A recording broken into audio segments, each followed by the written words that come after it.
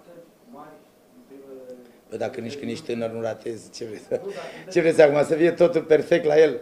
Important că ajunge în poziția asta, important că a fost acolo. Da, trebuia să fie mai fin. De discuțiile astea cu Vezi? transferul. Nu, nu are absolut nimic. Eu l-am văzut foarte conectat și la, la meciul de foarte periculos pentru adversar. Pentru că practic toți și-au măsuri cu el acum. Un copil de 17 ani toți și-au măsuri cu el. Inclusiv șerif și-a luat această mes- măsură. Da, uh, poate să o facă mai bine, să fie mai inspirat, că nu să fie mai bine pregătit, că și el a fost la lotul național, a avut vacanță vreo până pe 3, a venit cu noi pe 3 și are 7 zile de antrenamente, are 4-5 antrenamente, deci nu poate să fie la capacitate foarte mare. Dar e cu noi și o face foarte bine și ne bucurăm. Băluță a forțat și Da. a ieșit și un pic uh, lovit după acea fază. Da, da, da, da, da. E la fel. De- Asta e problema noastră acută, dacă vorbim în plan medical.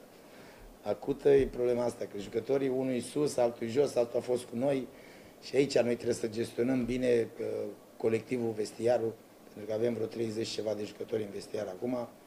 Mi-am dorit lucrul ăsta să am ca să pot să fiu pregătit. Și la Sibiu când mergem trebuie să aducem o echipă să mergem să câștigăm, să mergem să fim noi, să mergem să facem fotbal nostru cu care avem, voi vedea lotul, eu zic că e un lot care cred eu că poate să fie competitiv, să joace, să facă un meci foarte bun. Întâlnind o echipă uh, foarte bună care știe fotbal și anul trecut am pierdut acolo cum am pierdut la un scor uh, care nu ne face, nici măcar nu trebuie să-l amintesc. Am văzut astăzi și apărarea în 5, pe final ei împingeau două vârfuri pe doi fundași, ulterior ați mai băgat un Uh, fundaș. fac două sisteme, știam de lucrul ăsta, trebuia să facem lucrul ăsta, câteodată mai trebuie să facem în ultimele 10 minute, cum zicea Cruif, dacă nu n-ai făcut 80 de minute, nu știu ce, doar nu ce faci în ultimele minute, încerci să... Și atunci ne-am adaptat la ce era pe teren. Vă adaptați și la fotbalul european după patru ani de absență, acesta să fie noul plus al echipei, pentru că de obicei, când jucați în Europa, vă luați la fotbal cu toți. Acum învățați să gestionați dublele mașe care sunt diferite față de unul campion. Întotdeauna, totdeauna am încercat să facem jocul nostru. Vom vedea. Vom vedea. Noi uh, suntem pregătiți, cred eu, suntem pregătiți să, să încercăm să facem ceva. E o provocare foarte mare pentru noi, ca și club. Noi nu avem această experiență. Farul n-a avut această experiență.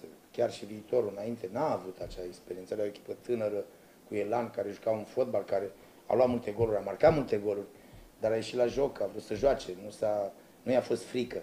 Nu, nu ne e frică. Noi avem curaj. Noi avem convingere de ce facem, suntem convinși de ce facem, credem în ce facem, cum le zic eu jucătorilor și avem curaj. Noi, acești trei, de, trei cuvinte, noi, la noi e primordial, e mentalitatea, așa se cheamă. Deci noi trebuie să avem identitatea noastră, să încercăm. Și chiar dacă luăm o bătaie, deci, uh, o înfrângere, cu, chiar dacă ea vine, de ce să-ți fie frică? Să ataci? De ce să-ți fie frică să joci fotbal? De ce să n-ai curaj? Lucruri care, scuzați-mă, cred că avem o problemă. În România chiar avem o problemă. Eu n-am, eu n-am acest lucru. Uh, nu fac probleme. Eu așa îi învăț pe băieții mei. Trebuie să știm să atacăm și să știm să ne apărăm. Fotbalul are două faze. Că o pui, mă mă apăr prima oară și atac cu atac rapid sau când atac trebuie să știu să atac. Cu tranziție negativă. Deci trebuie să le faci amândouă. Adică, practic, e tranziția în fotbal. Tic-tac ăsta, nu e tiki-tac ca fotbal. E tic-tac. Cât de iute ești aici sus. Și după aia corpul, picioarele și tehnica. Cât de puternic ești. Față de adversitatea pe care ați simțit-o, mai ales în play-off, la echipele bune din campionat. Uh, Deși Noi nu suntem favoriți. Noi nu suntem pe nicăieri favoriți. N-am fost favoriți al trecut să luăm campionatul, dar l-am luat. Am creat... uh, Când ei credeau că noi mental ne ducem în jos, am fost cei mai buni, în plan mental. În formula mea de succes sunt patru lucruri. În carte am scris cinci, dar acum la formula de succes a mea sunt patru. Primul, în viață trebuie să știi ce obiectiv ai. În fiecare zi, în fiecare minut, în fiecare săptămână, în fiecare lună, în fiecare an, trebuie să știi ce obiectiv ai. Trebuie să fii motivat. Eu lucrez cu oameni motivați și care au ambiție, care știu, cred în ei. Muncesc mult, sunt făcut din muncă, muncă, muncă și iar muncă. Și ultimul aspect, că ajungi în timp, e mentalitatea care ne lipsește la noi, la Constanțeni, la clubul IFAR, o mentalitate de campion, care eu vreau să o implementez acum aici.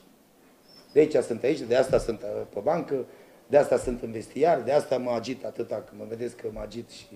Dar vreau să aduc o mentalitate de campion la Constanța.